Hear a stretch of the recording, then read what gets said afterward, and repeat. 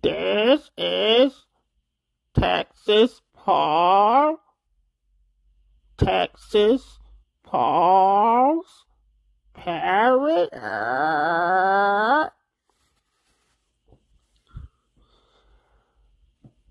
Uh, vote for uh, Joe Biden. Uh,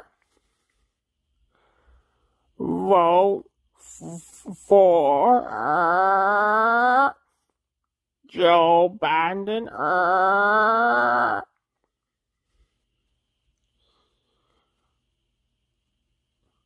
like Martin Luther King said, uh, like Martin